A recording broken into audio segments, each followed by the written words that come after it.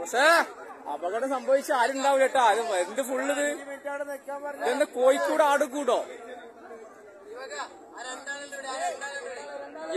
ഇനി രണ്ടാൾ. ഇത് സംഭവിച്ചു കഴിഞ്ഞാലേ ചായ കുടിക്കും.